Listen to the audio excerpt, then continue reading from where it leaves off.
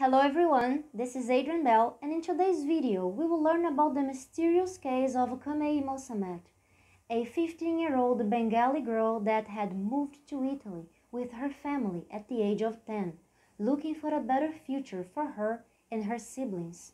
Unfortunately, they had no idea what was in store for them.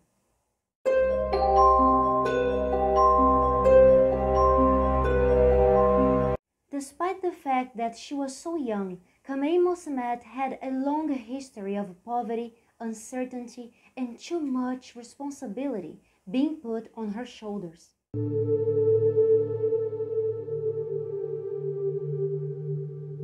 Cameyi's mother and siblings actually moved to Italy to be reunited with her father, who spent most of his time working hard in a factory, trying to support his family while struggling with an alcohol problem. Cameyi had a lot of responsibilities for a child. She took care of her siblings, taking them to school, looking after them all the time, and communicating on behalf of her mother, who didn't know how to read or write in either Italian or her native language. With all of it, Cameyi was always trying to find a little time to be a kid. Cameyi was a very intelligent girl and learned Italian very fast, which helped her to adapt and better survive in the city of Ancona, Italy. As the years went by, growing up as an immigrant, Cameyi faced many hardships with her family, struggling daily to survive. At her Italian school, a teacher, Silvia Mainardi, an Italian citizen who was worried for Cameyi and her family, often took her and her siblings to have dinner and stay at her house when it was possible, as the teacher herself had children. Sylvia also helped Cameyi's deaf-mute brother by teaching him sign language and took the kids to doctor's appointments. Obviously, with all the help she provided, she ended up very close to the family. At the age of 15, Cameyi dreamed of a different life, but she was always stuck with the responsibility of being like a second mother to her younger siblings. Things got even worse when her father got lung cancer, and due to the health condition, he ended up losing his job at the factory.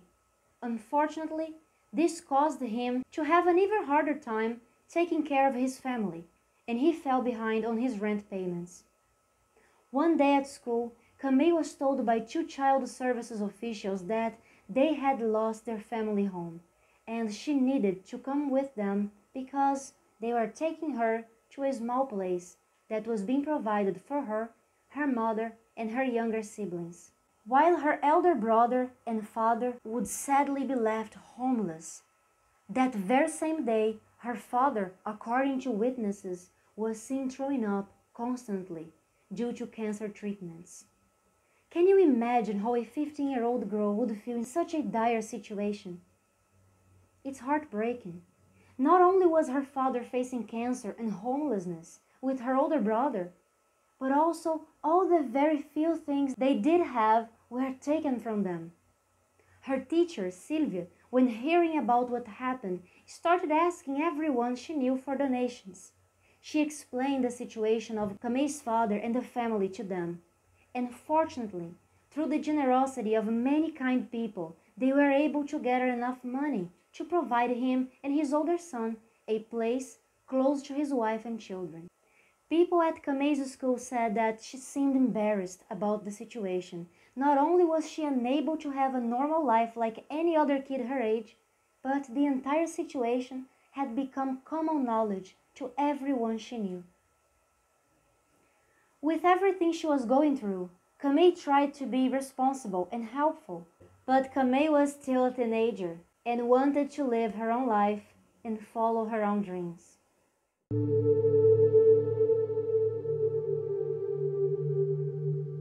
But on May 29, 2010, everything changed. On the morning of May 30th, Cameyi's father, Ibrahim Mosammet, went to her school asking for help, saying that his daughter hadn't come home the night before. Elisabetta Micciarelli, the headmistress of the school, went to the police station with Cameyi's father in order to help him with everything she could. Cameyi's teacher, Silvia Mainardi, also tried to make sure that the authorities and the community would do everything possible to find the teenager, calling not only the police, but also the media and talking to everyone who would have had any information about Cameyi.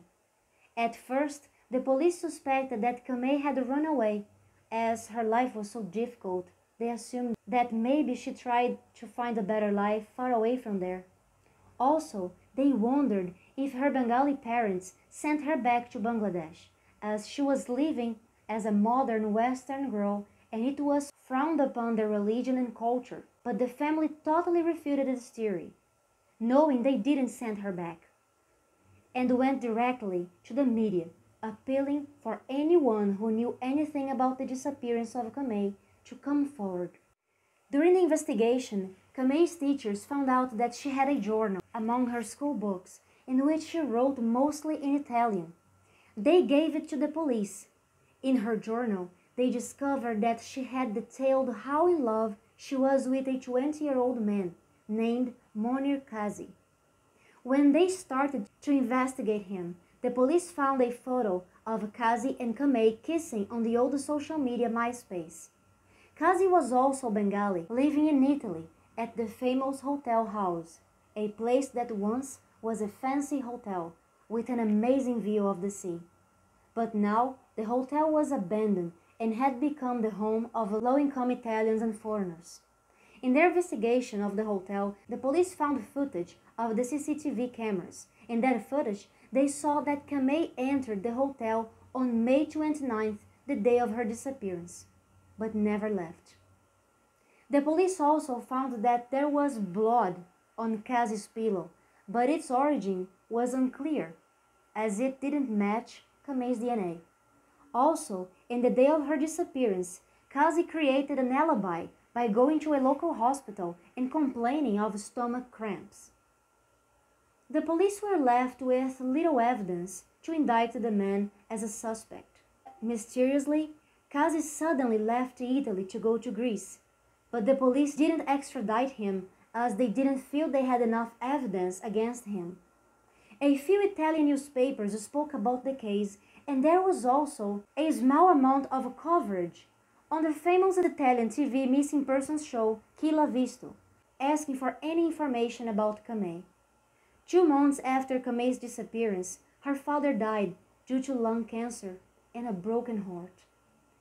As the time passed, the case went cold, and at that moment, her disappearance was no longer being covered by the media.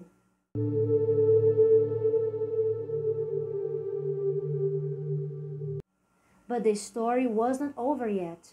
Eight years later, on March 28, 2018, police officers were searching the ground around an abandoned drug house, looking for stashes of drugs or money, because they knew the house was being used by dealers. A police officer saw something that looked like a golf ball sticking out of the ground.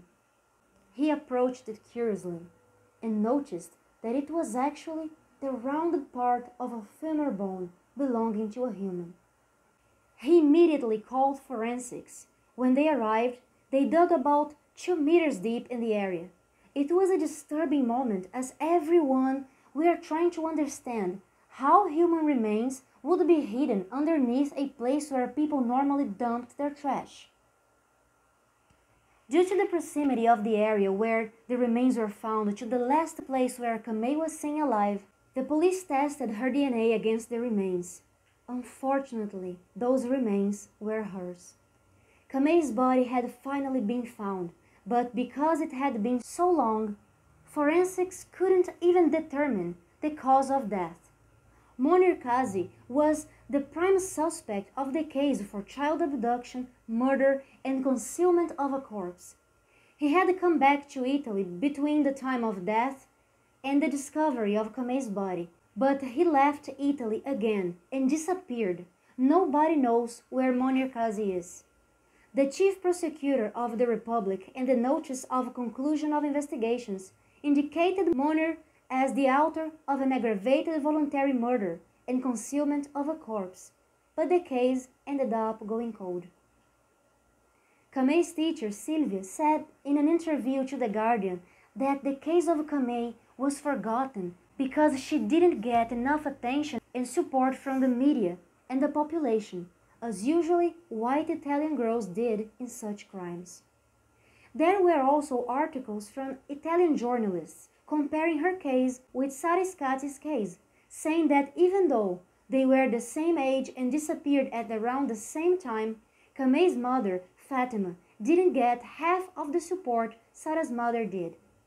By the way, I came across this case when I was researching Sara Scazzi's case, which is the last video that I made for you guys. What we do know is Cameyi was a good kid that helped her family in every way she could. She fell in love with a man and the last time she was ever seen alive was entering his building. Eight years later, her remains were found at a dump close to the building he was living in. What really happened to Cameyi Mosammet? Did Monir Kazi lure her to his place and do something horrible to her, then kill, dismember, and bury her nearby? Did someone else help him with the crime? Was it related to that abandoned drug house? Whoever killed Cameyi got away with this horrific crime, and we may never know the truth about what really happened to her. If you have any information about this case or the location of Monir Kazi, please contact the Italian authorities using the link below. Cameyi Mosammet and her family deserve justice. Thanks for watching.